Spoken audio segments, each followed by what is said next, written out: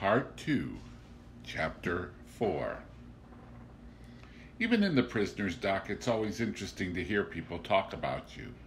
And during the summations by the prosecutor and my lawyer, there was a lot said about me, maybe more about me than about my crime.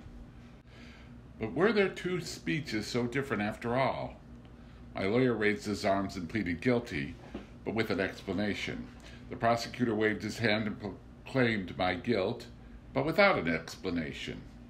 One thing bothered me a little, though. Despite everything that was on my mind, I felt like intervening every now and then, but my lawyer kept telling me, just keep quiet. It won't do your case any good. In a way, they seemed to be arguing the case as if it had nothing to do with me.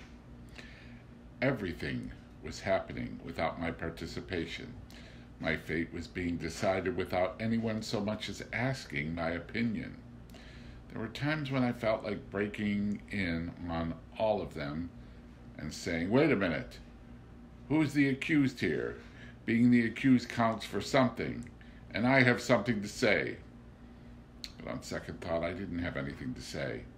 Besides, I have to admit that whatever interest you can get people to take in you doesn't last very long. For example, I got bored very quickly with the prosecutor's speech, only bits and pieces, a gesture, or a long but isolated tirade caught my attention and aroused my interest. The gist of what he was saying, if I understood him correctly, was that my crime was premeditated. At least that is what he tried to show. As he himself said, I will prove it to you, gentlemen, and I will prove it in two ways. First, the blinding clarity of the facts, and second, in the dim light cast by the mind of this criminal soul. He reminded the court of my insensitivity, of my ignorance when asked my mom's age, of my swim the next day with a woman, of the Fernandel movie, and finally of my taking Marie home with me. It took me a few minutes to understand the last part because he kept saying, quote, his mistress, end quote. And to me, she was Marie. Then he came to the business with Raymond. I thought his way of viewing the events had a certain consistency. What he was saying was plausible. I had agreed with Raymond to write the letter in order to lure his mistress and submit her to mistreatment by a man, quote, of doubtful morality, end quote. I had provoked Raymond's adversaries at the beach. Raymond had been wounded. I had asked him to give me his gun. I had gone back alone intending to use it. I had shot the Arab as I planned. I had waited, and to make sure I had done the job right, I fired more shots, calmly, point blank, thoughtfully, as it were. And there you have it, gentlemen, said the prosecutor. I have retraced for you the course of events which led this man to kill with full knowledge of his actions. I stress this point, he said, for this is no ordinary murder, no thoughtless act for which you might find mitigating circumstances. This man, gentlemen, this man is intelligent. You heard him, didn't you? He knows how to answer. He knows the value of words. And no one could say that he acted without realizing what he was doing. I was listening and I could hear that I was being judged intelligent. But I couldn't quite understand how an ordinary man's good qualities could become crushing accusations against a guilty man. At least that was what struck me. And I stopped listening to the prosecutor until I heard him say, Has he so much as expressed any remorse? Never, gentlemen. Not once during the preliminary hearings did this man show emotion over his heinous offense. At that point, he turned in my direction, pointed his finger at me, and went on attacking me without my ever really understanding why. Of course, I couldn't help admitting that he was right. I didn't feel much remorse for what I'd done, but I was surprised by how relentless he was. I would have liked to have tried explaining to him cordially, almost affectionately, that I had never been able to truly feel remorse for anything. My mind was always on what was coming next. today or tomorrow. But naturally, given the position I'd been put in, I couldn't talk to anyone that way. I didn't have the right to show any feeling or goodwill. And I tried to listen again because the prosecutor started talking about my soul. He said that he had peered into it and that he had found nothing, gentlemen of the jury. He said the truth was that I didn't have a soul and that nothing human, not one of the moral principles that govern men's hearts, was within my reach. Of course, he added, we cannot blame him for this. We cannot complain that he lacks what it was not in his power to acquire. But here, in this court, the wholly negative virtue of tolerance must give way to the sterner but loftier virtue of justice, especially when the emptiness of a man's heart becomes, as we find it has in this man, an abyss threatening to swallow up society. It was then that he talked about my attitude toward Maman. He repeated what he had said earlier in the proceedings, but it went on much longer than when he was talking about my crime. So long, in fact, that finally all I was aware of was how hot a morning it was, at least until the prosecutor stopped and, after a short silence, continued in a very low voice filled with conviction. Tomorrow, gentlemen, the same court is to sit in judgment of the most monstrous of crimes, the murderer of a father. According to him, the imagination recoiled before such an odious offense. He went so far as to hope that human justice would mete out punishment unflinchingly, but he wasn't afraid to say it.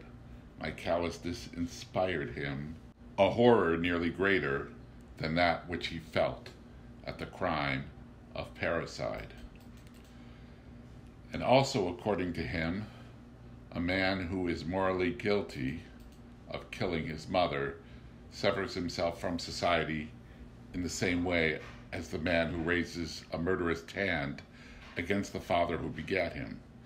In any case, the one man paved the way for the deeds of the other, in a sense, foreshadowed and even legitimized them. I am convinced, gentlemen, he added, raising his voice, that you will not think of it too bold of me if I suggest to you that the man who is seated in the dock is also guilty of the murder to be tried in this court tomorrow. He must be punished accordingly. Here the prosecutor wiped his face, which was glistening with sweat. He concluded by saying that his duty was a painful one, but that he would carry it out resolutely.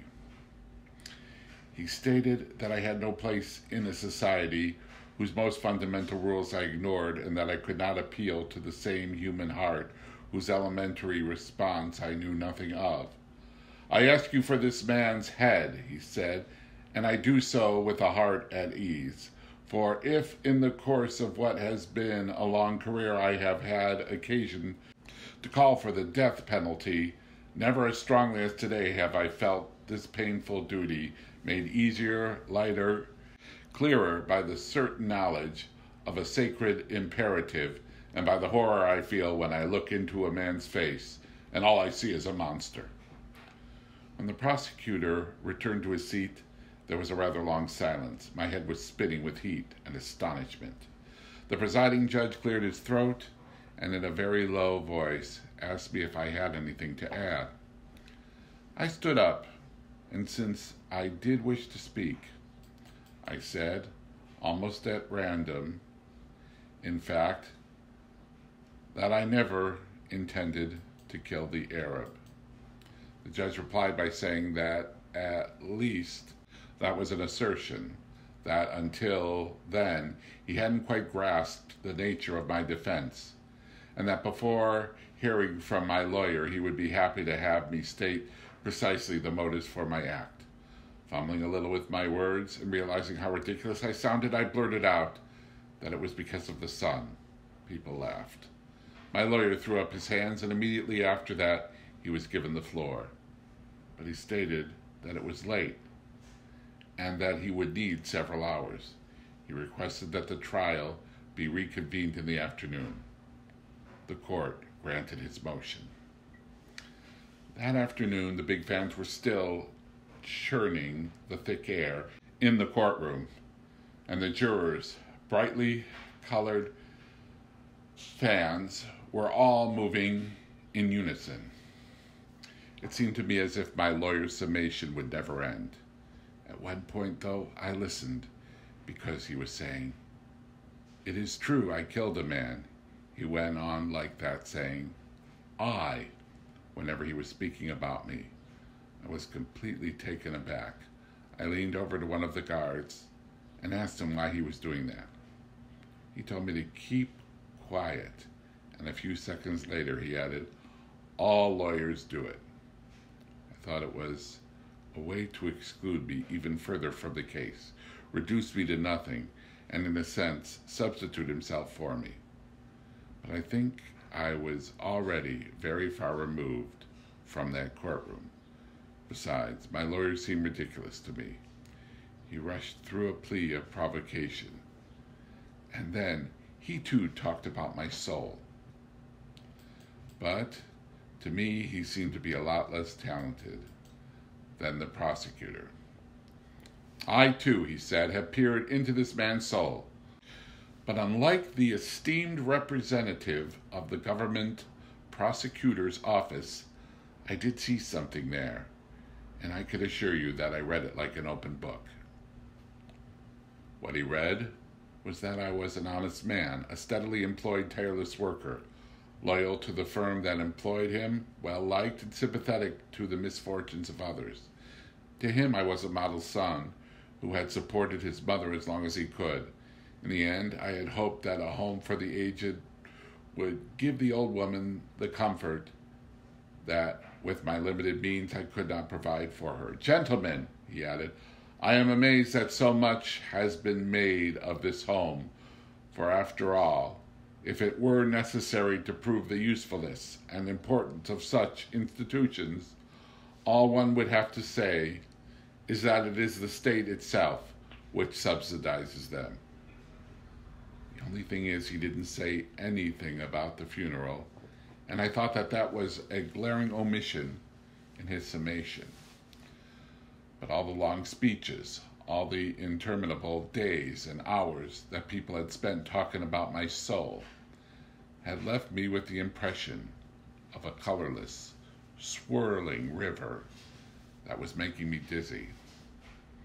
In the end, all I remember is that while my lawyer went on talking, I could hear through the expanse of the chambers and courtrooms an ice cream vendor blowing his tin trumpet out in the street. I was assailed by memories of a life that wasn't mine anymore, but one in which I'd found the simplest and most lasting joys. The smells of summer, the part of town I loved, a certain evening sky, Marie's dresses, and the way she laughed. The utter pointlessness of whatever I was doing there seized me by the throat, and all I wanted was to get it over with and get back to my cell and sleep. I barely even heard when my lawyer, wrapping up, exclaimed that the jury would not send an honest, hard-working man to his death because he had lost control of himself for one moment. And then he asked them to find extenuating circumstances for a crime for which I was already suffering the most agonizing of punishments eternal remorse. Court was adjourned and my lawyer sat back down.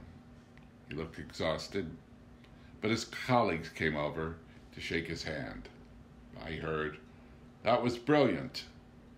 One of them even appealed to me as a witness. Wasn't it? he said.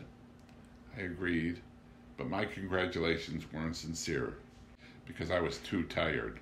Meanwhile, the sun was getting low outside and it wasn't as hot anymore. From what street noises I could hear, I sensed the sweetness of evening coming on. There we all were, waiting. And what we were all waiting for really concerned only me. I looked around the room again. Everything was the same as it had been the first day. My eyes met those of the little robot woman and the reporter in the gray jacket. That reminded me that I hadn't tried to catch Marie's eye once during the whole trial. I hadn't forgotten about her. I just had too much to do. I saw her sitting between Celeste and Raymond. She made a little gesture as if to say, At last. There was a worried little smile on her face, but my heart felt nothing, and I couldn't even return her smile. The judges came back in. Very quickly, a series of questions was read to the jury. I heard, guilty of murder, premeditated, extenuating circumstances. The jurors filed out, and I was taken to the little room where I had waited before. My lawyer joined me. He was very talkative and spoke to me more confidently and cordially than he ever had before. He thought that everything would go well and that I would get off with a few years in prison or at hard labor. I asked him whether he thought there was any chance of overturning the verdict if it was unfavorable. He said no. His tactic had been not to file any motions so as not to antagonize the jury. He explained to me that verdicts weren't set aside just like that for nothing. That seemed obvious, and I accepted his logic. Looking at it objectively, it made perfect sense. Otherwise, there would be too much pointless paperwork. Anyway, he said, we can always appeal. But I'm convinced that the outcome will be favorable. We waited a long time. Almost three quarters of an hour, I think. Then a bell rang. My lawyer left me saying, the foreman of the jury is going to announce the verdict. You'll only be brought in for the passing of the sentence. Doors slammed. People were running on stairs somewhere, but I couldn't tell if they were nearby or far away. Then I heard a muffled voice reading something in the courtroom. When the bell rang again, when the door to the dock opened, what rose to me was the silence in the courtroom silence and the strange feeling I had when I noticed that the young reporter had turned his eyes away. I didn't look in Marie's direction. I didn't have to, because the presiding judge told me in bizarre language that I was to have my head cut off in a public square in the name of the French people. Then it seemed to me that I suddenly knew what was on everybody's face. It was a look of consideration, I'm sure. The policemen were very gentle with me. The lawyer put his hand on my wrist. I wasn't thinking about anything anymore. But the presiding judge asked me if I had anything to say. I thought about it. I said no. Then they took me away.